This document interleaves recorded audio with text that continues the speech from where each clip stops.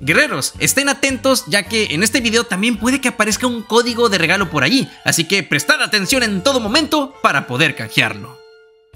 Desde su aparición en la saga de Buu, el increíble e insuperable Gohan definitivo dio una muestra increíble de superioridad al poder enfrentar e incluso humillar al poderoso Super Buu, un demonio mágico y tan poderoso que para apenas y poder enfrentarlo hacía falta tener el nivel Super Saiyajin 3 o incluso superior.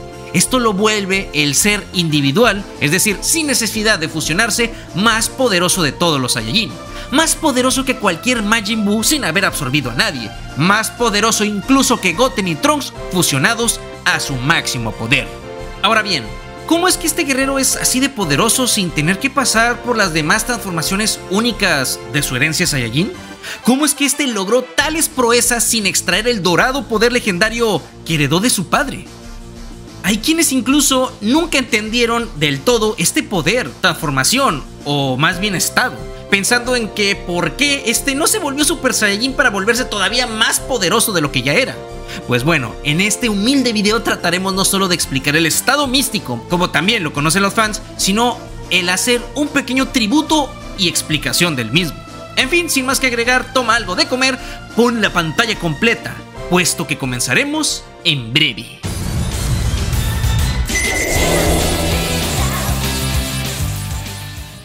Gohan definitivo, o el guerrero más fuerte como también lo mencionó Toriyama en algunos databooks, es esta forma que fue, al menos al principio, concebida para ser el guerrero más poderoso de toda la existencia de Dragon Ball. Aunque claro, luego aparecería la leyenda del Super Saiyan Dios y lo demás es historia.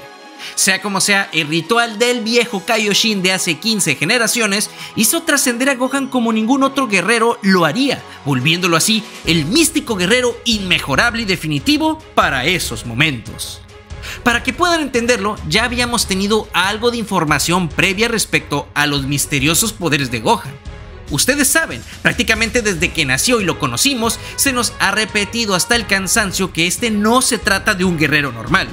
Este tiene un poder tan grande dentro de su ser que no podía controlarlo. Y cada que se enfurecía ocurría algo increíble. La bestia despertaba y siempre fuimos testigos de este misterioso y agresivo poder. Fue gracias de hecho a este increíble poder que Gohan consiguió dañar a su malvado tío y que pudieran acabar con él. Fue gracias a este poder que Gohan pudo ponerse y dañar al Gran Freezer. Y justamente fue gracias a este enorme poder oculto que solo podía liberar de golpe con la ira, que consiguió pasar al siguiente nivel del Super Saiyajin en su épica batalla final en contra del Bioandroide Cell. Ahora bien, tanta furia, poder y potencial canalizados y controlados dan como resultado literalmente al guerrero definitivo, ya que desde siempre se nos ha dicho en Dragon Ball que el control y el equilibrio lo son todo. Es la gran enseñanza principal. El funcionamiento del estado definitivo, al menos en Gohan, tratándose de un Saiyajin, funciona de manera de extracción de poder y multiplicación. Me explico. Gohan tiene el poder del Super Saiyajin y del Super Saiyajin 2, e incluso el potencial oculto de una hipotética fase 3, o incluso el poder ascendido del que ya hemos hablado en otros videos, los cuales multiplican por 10 el poder de un Super Saiyajin 2. Gohan es capaz de hacer uso de todo este poder sin necesidad de transformarse, cosa que es más que eficiente ya que el Super Saiyajin desgasta aquí poco a poco con el simple hecho de estar transformado y someter el cuerpo a un estrés constante.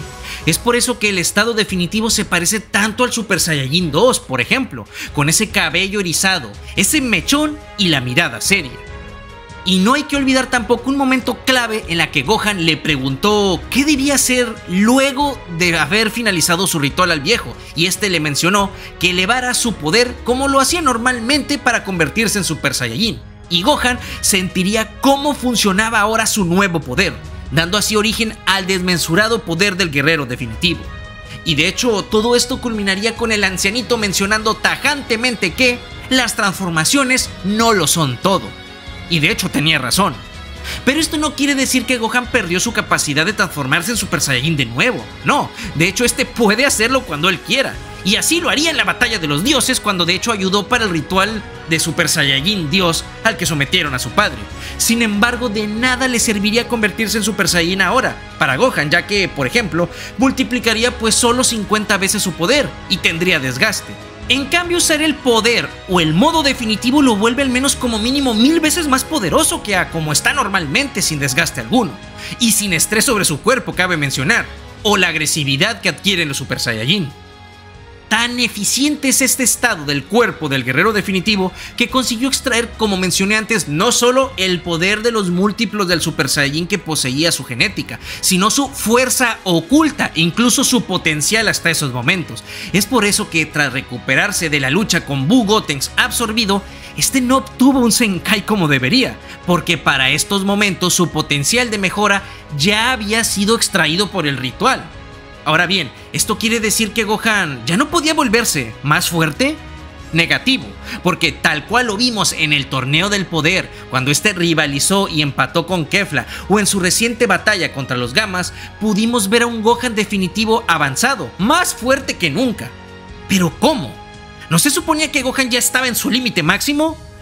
Pues déjenme explicárselos. Sí, estaba en su límite máximo para la saga de Majin Buu, sí, pero si sigues entrenando, desarrollarás más poder y a su vez irás desarrollando más potencial, por ende, más poder extraíble gracias a este mítico estado. Y para quienes lo hayan olvidado chicos, en su momento, en la saga de Buu, mencioné que aproximadamente el poder de Gohan en aquellos momentos en esta saga era de aproximadamente unos 80 millones en su estado base, y luego aproximadamente 80 mil millones como guerrero definitivo. Esto siendo el doble de fuerte que Goku fase 3 y a su vez también superando la fuerza de Super Buu de aquella saga. Pero esto solo abriría el camino y la posibilidad de que Gohan siguiera entrenando, por ejemplo, para poseer 100 millones en base y luego tener 100 mil millones en estado definitivo, o 120, o 200, 500, un billón o más. Porque el múltiplo del poder definitivo no siempre es el mismo, ya que era así cuando Gohan tenía ese poder en la saga de Buu, por lo que funcionaría más como un potencial que entre más mejoras, más va aumentando. Pero incluso el poder definitivo llega a tener un límite.